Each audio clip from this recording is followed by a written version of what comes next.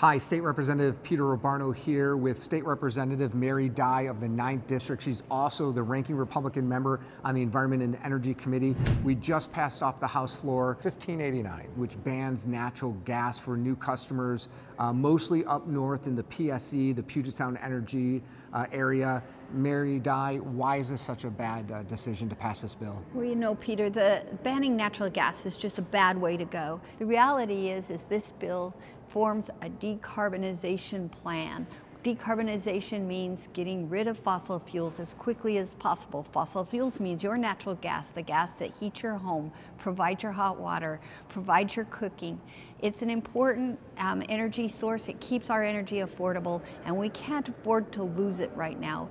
Everything that this bill does is make your utility bill more expensive, and we cannot afford to do this. Most families are having an affordability crisis as it is, and we need to stop right now with these bad ideas. Yeah, and the House Republican caucus voted against this bill. You and I voted against it. It hurts the people who can least afford this policy. Be sure to follow us, like us, and share this message. Thank you. Thank you.